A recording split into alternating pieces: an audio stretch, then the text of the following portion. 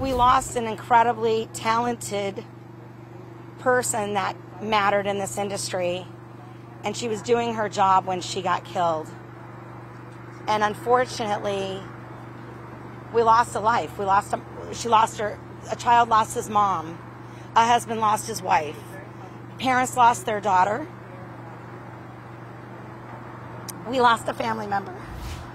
What brings me out here is the fact that we need to make an enlightenment of safety on set and that we matter, all lives matter, and people need to do their jobs to their caliber. And what happened out here was that they were not, they brought in people that had no experience to do a job that needed extreme amount of experience and safety experience.